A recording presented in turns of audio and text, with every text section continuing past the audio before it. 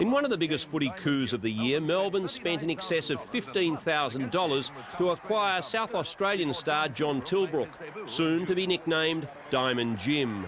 He made his debut against South Melbourne in round 12. And